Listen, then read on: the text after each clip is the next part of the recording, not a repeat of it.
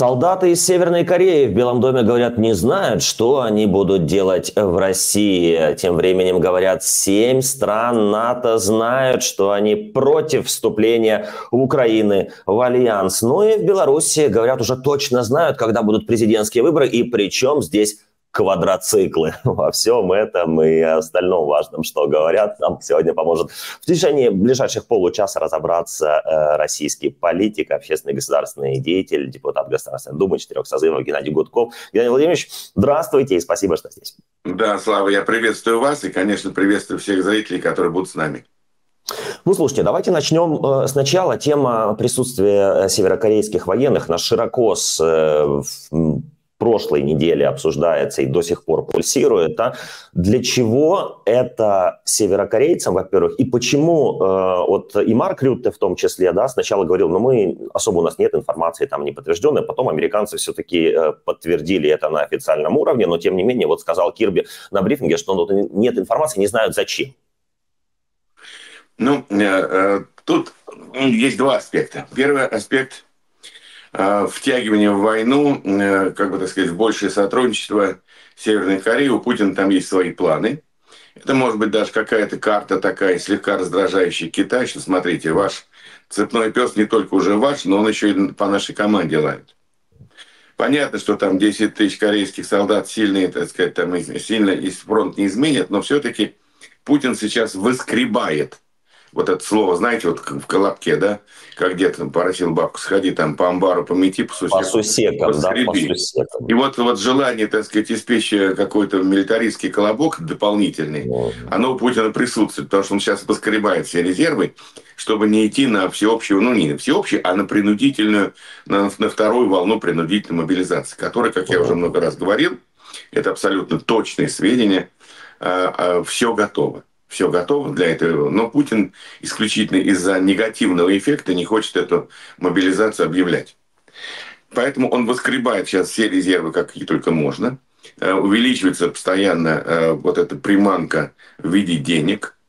Э, эти деньги выплачиваются в большей, степени, в большей части. Там, конечно, не, не без бюрократии, не, не без обмана, не без всего, но тем не менее – и сумма постоянно растет. Сейчас есть рекорд уже 3 миллиона разовые пособия. Ну, там различные слагающие mm. этого разового пособия. Но ты еще ничего не сделал, но 30 тысяч долларов даже, или 30 тысяч евро уже получил. Плюс зарплата, которая превышает, грубо говоря, реальную там в 10, в 10 раз как минимум, а то бывает и больше. И, и пока вот ему этим удается навербовать достаточное число болванчиков, э, э, вот этих наемников, которые продают свою жизнь за эти деньги. И идут убивать и себя, и украинцев, к сожалению. Вот, поэтому э, ситуация, она вот такая, она вот такая. И это попытка, э, как бы так сказать, привязать еще больше Северную Корею, э, расплачиваясь с ней, по всей вероятности, ракетными технологиями, системами наведения. Там говорят, что помогают Северной Корее сейчас доводить до ума первую подводную лодку большую с ядерными баллистическими ракетами, ну, которая предполагается установить на эту подводную лодку, и США это тоже очень сильно напрягает. И не только США, кстати говоря, Японию, ну и так далее. И вот э, все это происходит на фоне э, в Северной Корее усилившейся истерики, военной психоза. Там взрывают мосты и уничтожают дороги, которые соединяют Северную Корею с Южной. Хотя по Газе понятно, что если кто и нападет, то как безумный диктатор а не Южной Кореи, которой сейчас это нахрен не нужно, потому что она уже давно десятая экономика мира продолжает развиваться. Но это ужасно раздражает, как мы знаем, Северную Корею, вот эта информация о посылке войск. И, наконец-таки, Северная Корея, Южная Корея, извините, начинает понимать, что это ее война. Вот понимаете, проблема главная, э, которая мешает Украине победить, выгнать их оккупант с своей территории, это непонимание большинства демократических стран, что это их война. Ну, война Украины. Ну, там кто-то еще по-идиотски начинает, это борьба там какая-то славянских народов там и так далее. Там, ничего подобного. Это война каждой семьи, живущей в демократических странах. Вот э, понимание этого есть на каком-то определенном политическом уровне, но, к сожалению, нет такого понимания на уровне, э, как говорится, народных масс. Будем надеяться, что оно, может быть, дойдет, Э, как говорится, как, знаете, до жирафа.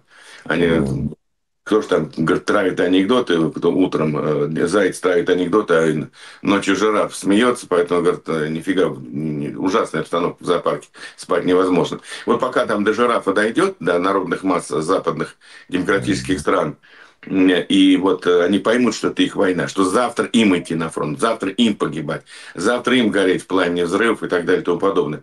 Вот тогда что-то будет.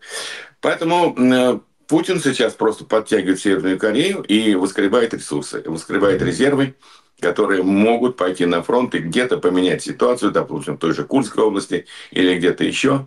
Ну вот, э, думаю, что вот эти основные причины, э, которые толкают э, Путина и Северную, толкают Путина на втягивание Северной Кореи в войну. Геннадий Владимирович, а реакция Запада, ну, Америки и западных стран вот на присутствие э, военных из Северной Кореи, кроме как глубокая обеспокоенность, и кроме как вот история про комментарий, что это будет там невиданная эскалация и так далее и тому подобное, вот э, это вся реакция, которая, в общем, традиционная, она не только на этот эпизод, или можно ожидать чего-то еще, при каких обстоятельствах?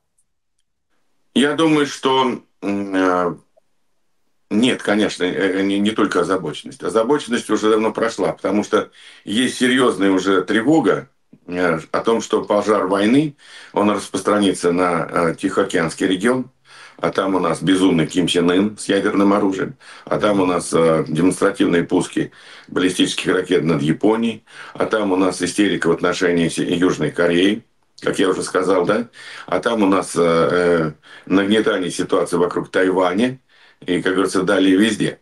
Поэтому э, это, безусловно, осложнение ситуации в, на Ближнем Востоке и ожидаемый ответный уран, э, удар Израиля по Ирану, который может привести к э, какому-то иному качеству вооруженной борьбы, вооруженного конфликта, на, на Востоке, он перестанет, он перестанет быть локальным конфликт, он может стать гораздо более масштабным. Это, безусловно, э, ситуация с Афганом, которым там все бурлит, кипит. Это э, много других очагов напряженности в Африке и так далее и тому подобное. И вот мне кажется, что сейчас я надеюсь, я надеюсь, что западные лидеры начинают понимать, какова может быть цена, давайте честно скажем, поражения от Путина. Угу. Ведь э, Путин сражается, и это абсолютно и он убежденный, он, ему удалось убедить э, вот эту часть, бодловатую часть населения, которая его поддерживает совершенно, так сказать, э, не, не бескорыстно, я имею в виду. Потому что есть, я все время говорю, что Путин поддерживает две категории людей. Это не э, идиоты, э, ну, как бы, так сказать, люди оболваненные, люди, превратившиеся э, в какое-то стадо. И второе – это подлецы, э, мерзавцы. Вот они еще из этого извлекают прибыль, они, конечно, не уверены ни в какой там правоте, но им важно сейчас поддержать путь для того, чтобы да, иметь вот, э, возможность для заработков, обогащения, воровства и так далее. Вот две категории людей. Путь опирается на дураков и на подлецов. Вот, поэтому вот эта вот э, масса, она считает, э, вот эти дураки, я подлецов отбрасываю, дураки, они считают, что Путин сражается со всем Западом что вот он такой великий, он побеждает Америку, он побеждает НАТО, он дает бой там Америке, там на коленях стоит Германия, Шольц готов там и не только звонить, а еще кое-что там в народном языке говорят про, про Шольца, вот. Ну и так далее и тому подобное, что придет Трамп, Трамп, так сказать, наш и так далее и тому подобное. Вот это уровень их мышления. И поэтому э, поражение от Путина может привести к тяжелейшим и, не, и мы не можем привести, давайте по слову может уберем, приведет, неизбежно приведет к тяжелейшим для всего мира военным э, катастрофам, политическим катастрофам, э, каких-нибудь там бун, каких-то бунтов, беспорядков и так далее. Все это обязательно будет. Мы сейчас видим, что творят эти э, адепты э, палестинских этих э, террористов, ну, да? Ну, да. Же, ну, ну, люди, которые, вот, казалось бы, да, ладно бы эти были переселенцы из арабских стран, тут еще, как говорится, полбеды. Но когда в их ряды встают э, люди, называющие себя там интеллектуальной элитой Запада с каких-то университетов, но у меня, честно говоря, вот я все время говорю, что э, ум человеческий, он не определяется степенью образованности, только степень образованности. Да, образование помогает формированию ума. Но если но само по себе образование не является источником ума. Вот как могут э, люди, э, обладающие, так сказать, знаниями, образованием, э, не понимать элементарных вещей, Ну, я вот, честно говоря, почему я все время говорю, что человек – это условно разумное существо? Я и себя к этому отношу, да, я очень много... Я, я понимаю вас, конечно. Конечно. Да, могу посвятить весь эфир критике самому, самого себя. Вот, но э, вот действительно условно разумное существо. Ну как можно э, преподавать в университетах ведущих угу. некоторым профессорам и нести вот эту хрень собачью? Как Гутерриш может приезжать на Казанский форум, отказавшись от форума мира в Швейцарии. Вот, вот, вот кто-то мне кушать, кушать хлебушек, ничтоже сумнящийся. Да? Или действительно люди настолько продажные, вот настолько, так сказать, девальвированы э, принципы, ценности, идеал, идеи, идеалы, настолько они девальвированы, что там э, желание, так сказать, там хапнуть э, и, э, так сказать, прожигать эти деньги – в развлечениях, оно стало уже доминирующим, вытеснило вот это все то, что я бы сказал. Ну, а кстати, а, кстати, Геннадий Владимирович, согласитесь, это очень логичное объяснение. Бабло, я имею в виду. Ну, это супер логичное объяснение. Правильно, мы, мне кажется, что э, мы вот иногда в аналитике и в объяснении разных процессов прям усложняем. Почему? Потому что мы, может быть, немножечко по-другому мыслим может быть, ментальная наша э, прошивка, она чуть другая. А да, иногда да, кажется, что все гораздо проще через свою логику, а она логика неправильная. Да. Бабло да. побеждает ну, зло. Ну, это, это, это, могу ошибаться. Помните? Бабло побеждает зло, да, это был придуман лозунг да, э, да, чиновниками да, в Кремле, оч, очевидно. Вот, которые решили, очевидно. что за деньги можно скупить всех. Ну да. Хочу буквально два тезиса, если можно. Вот э, чуть-чуть о геополитике. Вы э, упомянули э, Трампа, что Путин, э, ну, надеется, что Трамп придет. А, а придет ли Трамп, по вашим ощущениям? Ну, я, понимаете, американские выборы всегда непредсказуемые. Угу. Последние, сколько я помню, лет 20, как бы я более внимательно, может быть, следил за выборами в Соединенных Штатах угу. Америки, 20, они всегда идут бровь в бровь кандидаты и там буквально решается каким-то там, ну, грубо говоря, там десятками тысяч голосов. То есть, э, поэтому предсказать сейчас очень сложно. И э, самое страшное, что произошло за эти годы с демократиями, их очень сильно разбавили мигранты, которые э, поддерживают любую популистскую э, идею, любое популистское правительство, любой, любых популистских политиков. И качество лидерства – из-за этого. Потому что популизм – такая штука страшная. Популизм – это когда не ты ведешь нацию каким-то целям и предлагаешь ей идеи, предлагаешь ей план, а когда ты подстраиваешься под сиюминутное настроение э, толпы. Вот толпа сегодня хочет, так сказать, кушать, а завтра она захочет пить. Нате, нате вам бургеры из Макдрайва, да? Хотите да, кушать, да, нате вот, бургеры из Макдрайва. бургеры, и заткнитесь, так сказать, а что будет через два года, это не ваше дело. Вот. В этом смысл, э, так сказать, сегодняшней деградации э, политических элит. Политические элиты деградируют э, в условиях, когда приходит огромная масса народа, не имеющей политической, да и никакой другой такой серьезной культуры. И вот э, отсюда и проблемы. Отсюда и проблемы. Вот Трамп придет или ну, Камела Харрис. Они там, вот Камела Харрис там что-то выступила, потеряла палестинские голоса. Да. Вот они вот, вот они лавируют. Вот мы палестинские голоса, мы израильские голоса, голоса мы украинские голоса, мы там э, выходцев из Восточной Европы голоса должны получить. И вот это вот лавирование в, э, то есть приводит к, к появлению не самых сильных, не самых умных, не самых решительных э, лидеров, которые иногда идут против общественного мнения. Ну, давайте а, адапти- а, адаптивных, да, Геннадий Владимирович? Ад- адаптивных. Ад- идет адаптация под настроение mm-hmm. толпы. И приходят люди не самые сильные политики, а приходят люди с наиболее э, гибким, а я бы сказал, иногда и с бесхребетным состоянием взглядов, мыслей и идей. Mm-hmm. Вот в чем проблема. И вот а. давайте мы вспомним, допустим, э, Черчилля. Ведь Черчилль слыл, он, конечно, был невероятно талантлив, там золотое перо Британии, там популист, писатель и так далее, великолепный. Но он ведь слыл, э, как бы так сказать, э, странным человеком несколько. Таким чудаковатым парнем, который говорил те вещи, которые, ну, что он несет? А потом оказывалось, что он был прав. Что он говорит? И ведь Черчилль пошел наперекор э, общественному мнению, что с Гитлером надо друж... Э, как сказать, мириться, договариваться. Ведь Гитлер предложил Черчиллю, ну, в смысле, Британии предложил в его лице, предложил великолепные, так сказать, условия прекращение войны, вообще не вступление Британии в войны, там и отдать и Суэц, и не соваться туда, и не соваться здесь, и признать то, и признать все, только подпишите с нами мирный договор. Угу. И Черчилль сказал нет. И его за это, так сказать, там чуть ли не, не, не бить были готовы каждый день, за то, что он сказал нет, когда там Герм... Э, Британию начали бомбить, когда их там прижали армию во Франции, э, на этом вот э, пляже, на, на, на берегу, как вот, господи, Дюнкерт, э, э, есть фильм такой, вот. И э, он, в общем-то, ну, поставил практически на, на карту все потому что он уверен в то, что вот нельзя диктатуре, перед диктатурой прогибаться, нельзя ей ничего отдавать.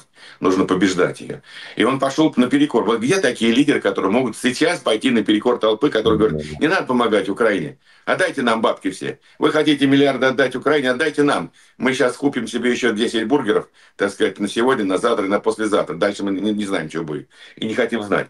То есть э, я утрирую, конечно, с этим. Я понимаю, но ну, это очень показательно. Да, я, я понимаю, я понимаю, что коренные жители, уж извините так назову, коренные жители стран демократии несут огромную нагрузку, ну, скажем так, поддерживая миграцию, помогая людям, которые бегут от ужасных условий проживания в своей стране, от войны, от разорения, от унижения, от гибели и так далее. Я все понимаю. Но, и поэтому, конечно, вот правые настроения появляются, и популистские настроения появляются. Я понимаю, что сейчас демократия испытывает кризис.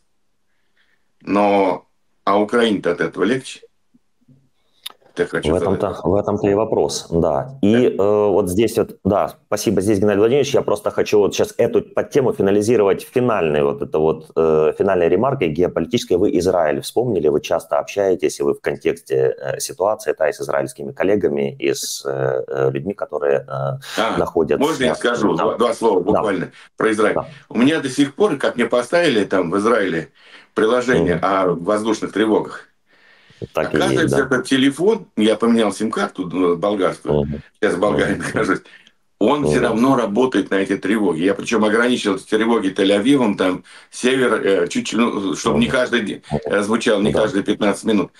Так вчера я посчитал, вчера за 12 часов, чтобы просто вот люди понимали, они же не говорят об этом, что-то Израиль как-то проигрывает эту информационную работу. За вчерашний mm день 15 малых э, э, тревог воздушных пуски были по различным.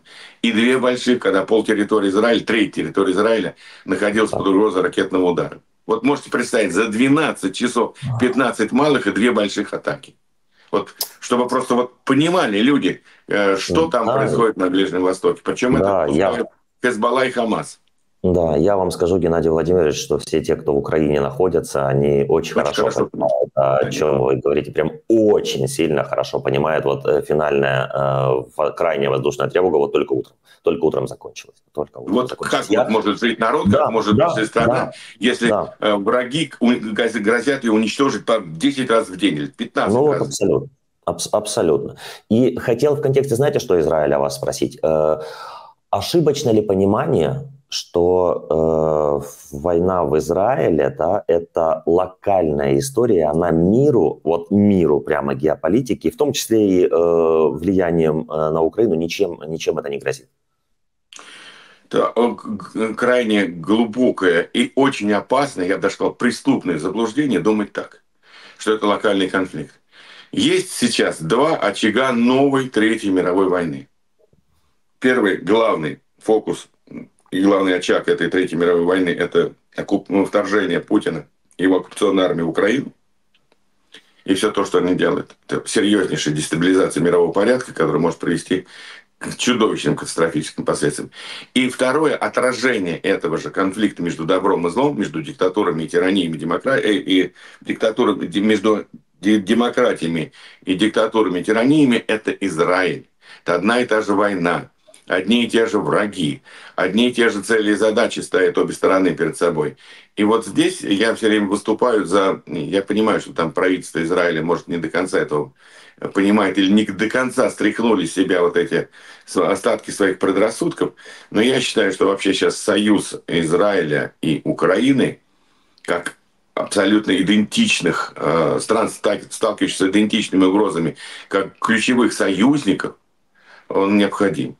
Взаимная помощь, э, поддержка. Я знаю, там кое-что делается, но недостаточно. Есть там обиды, есть там неудачные заявления дипломатов, э, государственных деятелей, есть контакты. У Израиля, к сожалению, были контакты с Путиным, они в каком-то уровне там продолжаются с Россией. Это все э, ошибки, я считаю, что Израиля, и их надо корректировать. Ну и Украине, мне кажется, тоже здесь нужно как-то потеснее сейчас работать с дипломатией, с политиками Израиля, чтобы формировалось не только у них, у Украины и Израиля общее понимание э, и возможности сотрудничества и поддержки. Потому что здесь даже информационная поддержка очень важна. Взаимная информационная поддержка. Она важна чрезвычайно. Сейчас в условиях, когда информационная война становится чуть ли не главной. И второе, это вот э, очень важно объяснять это всем э, демократиям мира, ребята, что это один и тот же процесс. И если вы э, будете мешать Израилю, Израиль имеет возможность сам решить вопрос э, с своими врагами. И если вы не будете поддерживать в должном объеме Украину, вы проиграете, вы просрете в мир. Так же, как вот, допустим, вот Франция. Извиняюсь за выражение, опять буду сказать громко, просрала Африку. А кому? Диктатором, который поддерживается Путиным с Вагнером. Вот я разговаривал с представителями Мали, э, э, оппозиции Мали. Угу по их инициативе, они, ну, мы встретились. Они Которые говорят, разорвали дипломатические отношения с Украиной, напомню. Да. Вы, говорит, не понимаете, что у нас с вами общие враги. У вас враг Путин, и у нас враг Путин. У вас там его оккупационная армия, у нас э, путинские оккупационные армии в виде Вагнера. Понимаете, говорит, мы сейчас находимся настолько вот близко, вот вы, мы вас знаем, вы нас не знаете. И мы хотим, чтобы э, вот общие усилия тех людей, которые понимают, что происходит в мире, который видит это собственными глазами, ощущает на собственной шкуре, как я сказал, про эти атаки. Вот эти люди могли бы объединиться, и, а, потому что э, хороших людей э, больше, но они хуже объединяются. Плохие легче объединяются. И вот, вот это вот сейчас необходимо объяснить всему миру, что это последняя война, которую могут своими руками, ценой своей жизни своих солдат, офицеров вести Украина и Израиль. И если вы не, не, не, будете поддерживать, помогать или даже начнете мешать э, решению этих проблем, то вы получите такие конфликты, которым вам триллионов не хватит, десятков триллионов долларов. Вы, блин, у вас эти вот, кто сегодня говорит, дайте нам еще там три бургера каждый день, это, они будут потом хлеб соли доедать последний. Они говорят, вот, вот это вот надо понять. Да, Потому что да, начнется какая-нибудь такая заваруха по всему миру, что никаких денег не хватит, что уровень жизни упадет три раза.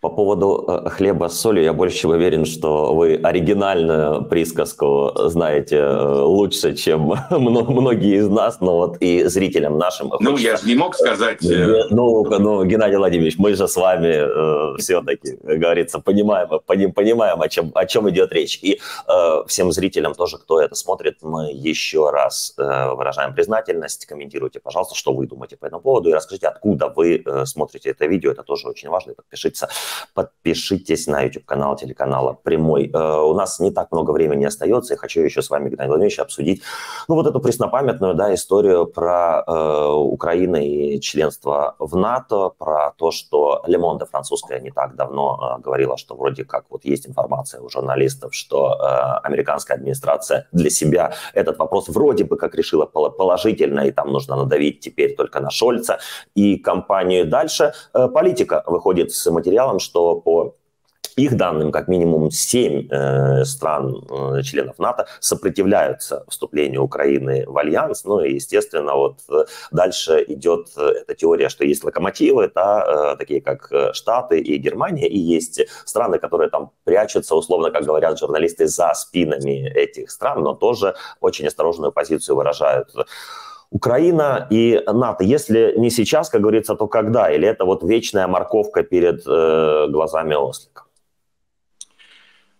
Честно говоря, я не очень понимаю логику Западного альянса, угу. потому что он вообще-то военно-политический. Не политический да. военный, а военно-политический. Да. И когда идет война, невозможно добиваться там э, сплошными совещаниями консенсуса 30 членов, да еще в трех чтениях. Ребят, война кончится, пока вы там на, на свои совещания проведете. Я считаю, что НАТО, как и любые другие сейчас международные институты, препятствующие развязанной глобальной войны, должны перестроиться.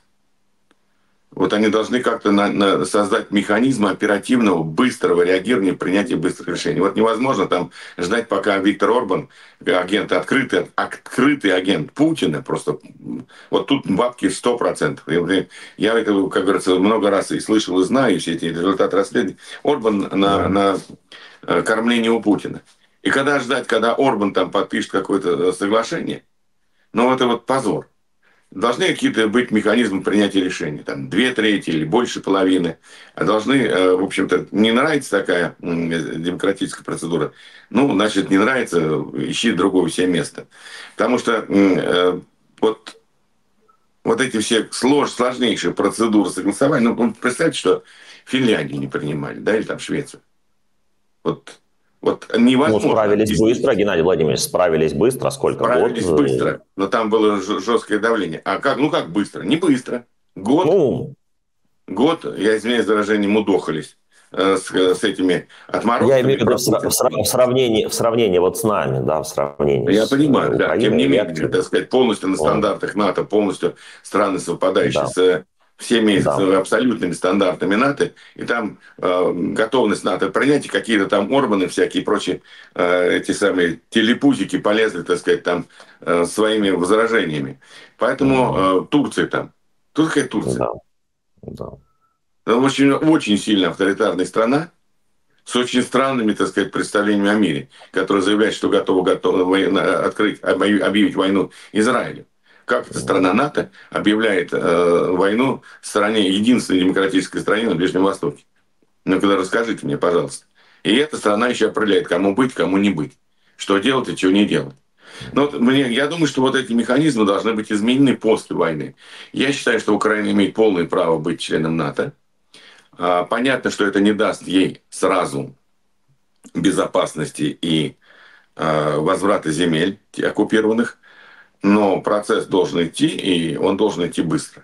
Потому что Украина сегодня э, при всех, так сказать, издержках, ошибках, промахах и так далее и тому подобное, она сражается за всю демократию, всю систему демократии в мире. И сражается, проливая кровь своих граждан. Э, это должно э, быть понято и оценено, на мой взгляд, в том числе странами НАТО. Тут нет никаких аргументов которые бы могли препятствовать вступлению э, и принятию Украины в НАТО. Э, она, она, э, Украина одним этим уже своим героизмом в защите всех демократий мира уже это право заслужила. Все остальное ерунда. И она гораздо более, скажем так, нацелена на гораздо больше исповедует ценности НАТО, чем да, та же Турция. Давайте по-честному скажем. Да и не только Турция. Поэтому я думаю, что это вопрос, который надо решать. Но мы с вами должны четко помнить.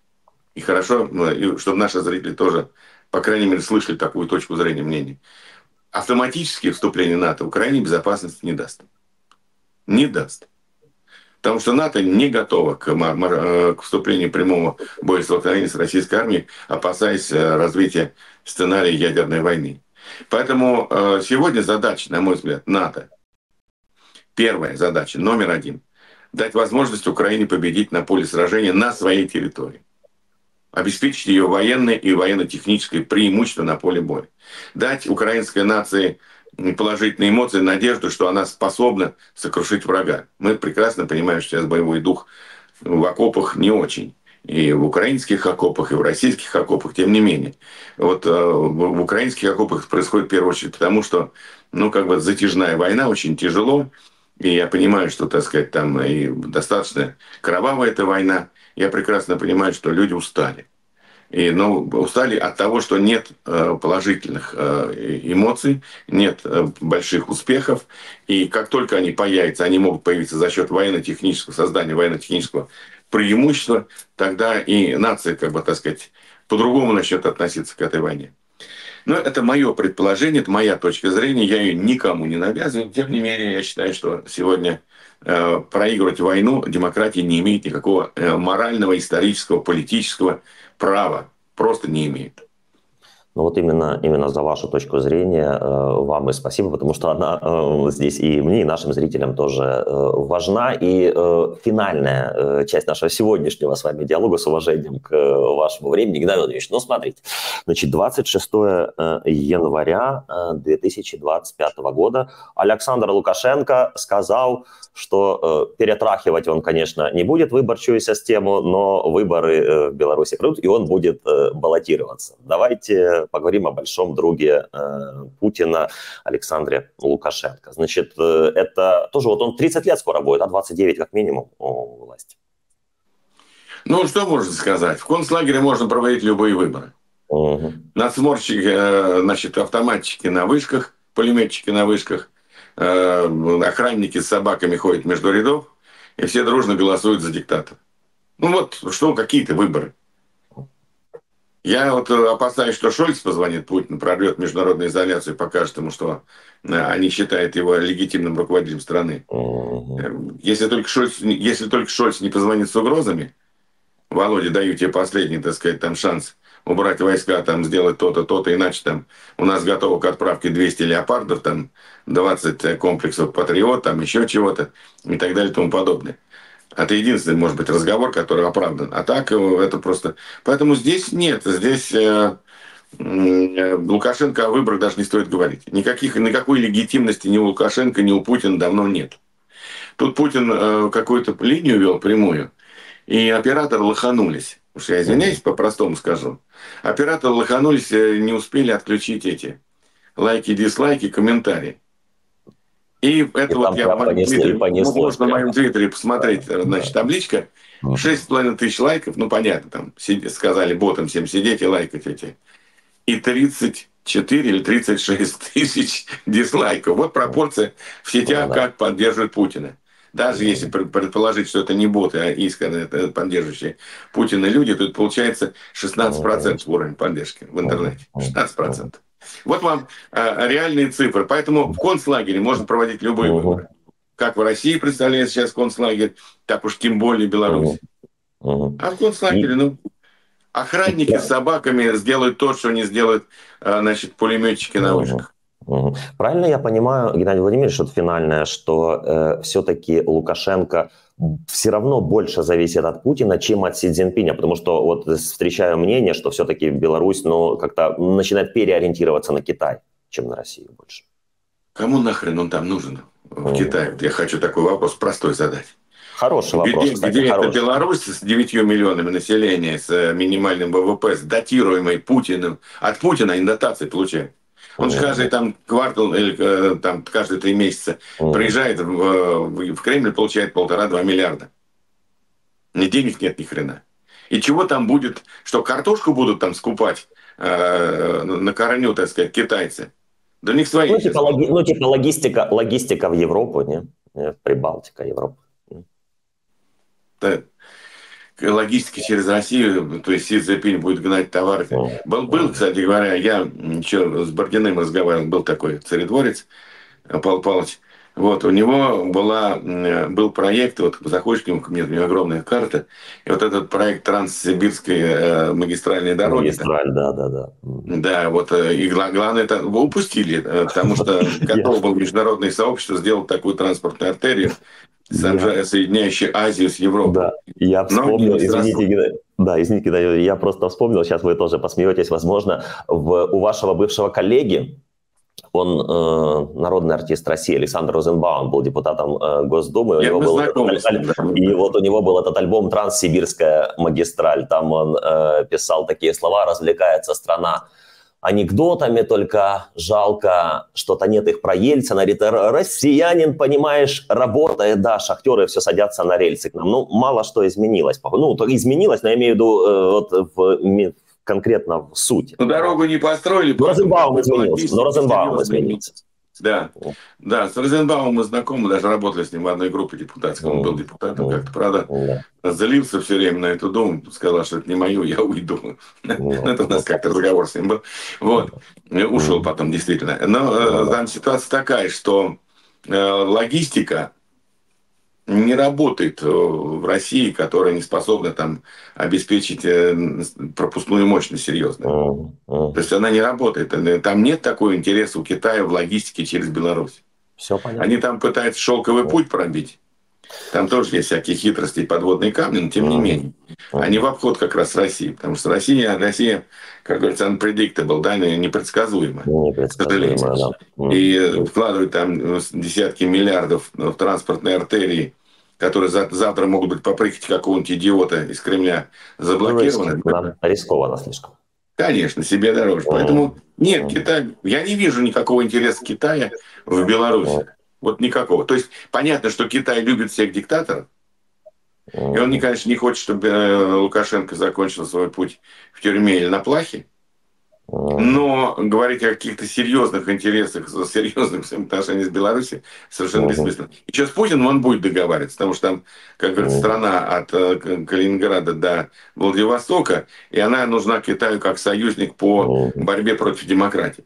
Она, безусловно, нужна ему. И поэтому Китай не будет там э, останавливать помощь, поддержку Путину, если это не будет серьезно э, сокрушать его интересы в Европе, в Европейском Союзе, в, европейском, на европейских рынках и в Соединенных Штатах Америки.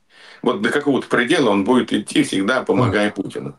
А Лукашенко это, это же довеска, это предаток, это же не самостоятельная личность. Это, ну, как это называется, вассал, да? Подчиненный. Ну, да, есть, э, есть, кстати, о чем поговорить будет. Я э, вот э, два тезиса, ремарки. Первое – это спасибо и благодарность, конечно же, традиционно вам, Геннадий Владимирович, за то, что вы находите время и нашим зрителям комментируете, Взаимно. что вы думаете вот по Взаимно. всем тем темам, которые мы с Геннадием Владимировичем обсуждаем. Пожалуйста, пускай это видео посмотрит как можно больше людей, потому что вот, опять-таки, спасибо вам за то, что провоцируете нас думать. Это немаловажный скилл в нашей наши вот такие сложные времена. Ну а если э, мы с вами, э, надеюсь, вы примете мое предложение э, пообщаться и на следующей неделе, то, говоря болгарским языком, вы уже будете в парижских самых люксозных стаях. Я помню, по-болгарски говорят, да, им, има самые люксозные стаи, когда э, да, туристов это, называют. Да, это комната, апартамент. Ну, это, это, я единственное, это я единственное, что помню по-болгарски. И там, кстати говоря, вот эти вот воспоминания на столбах, которые там людей, ушедших из жизни, до сих пор сохранились. Да, да, конечно, да, они это Такая делают. Культура, вот. Вот, э, причем каждый, кто там, ну, на поминки вообще может зайти любой человек. У них там, у них такая ну, вот да. Традиция. Ну да, вот такая вот. Как, ну, болгар мало, они друг друга все знают. Почти все болгары знают друг друга лично. По крайней мере, они так говорят. Да, да, да. Чтобы чтобы мы чтобы мы сейчас вот э, не зашли э, в эфирное обсуждение на фамилию Киркоров, мы вот здесь вот поставим три точки пока что и приглашаем вас присоединяться к нашим будущим беседам. Геннадий спасибо вам э, огромное и до новых встреч. Слава вам, слава Богу и слава Украине.